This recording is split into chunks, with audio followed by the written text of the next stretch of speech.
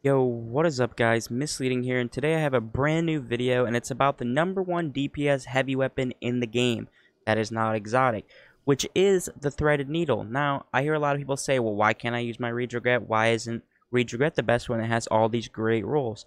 The reason for that being because of the seasonal mod Focusing Lens.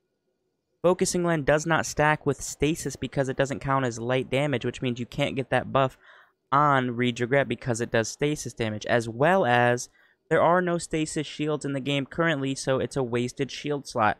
Say an enemy has a void shield and you need an extra weapon because your special that's void is out of ammo or you don't even have void at all, you would also use your threaded needle.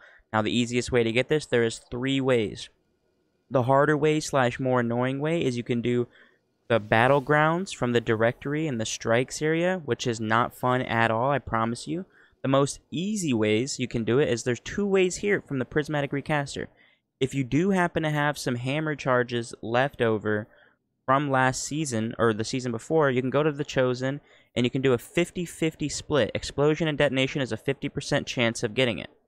Or the easiest way is you can go to this season, Season of the Lost, head over to the fourth Umbral, which is Tools of the Chosen, and you have a 33% chance of getting the weapon which is a lot better than going and grinding out some battlegrounds. I just got one here. Maybe it's a god roll. No, it is not. Now, the god roll to look for, in my opinion, would be in the fourth slot, always Vorpal, nothing else. In the third slot, I have two personal favorites, which is Rapid Hit and Clown Cartridge.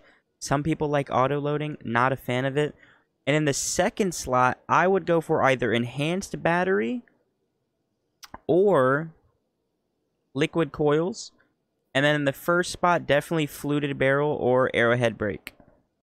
If you guys enjoyed this video and need other tips or want to know the best setups for PvE or when there's something crazy out that you need to know about ASAP, make sure you follow my Twitch. It's always in the description. I'm live every single day doing all types of help, and I'll feel free to answer any of your guys' questions. Thank you.